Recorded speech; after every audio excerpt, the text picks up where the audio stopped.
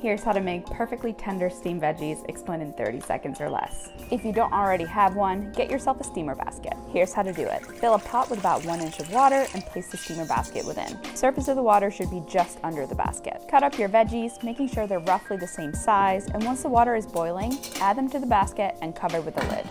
Keep checking until your veggies are bright and tender.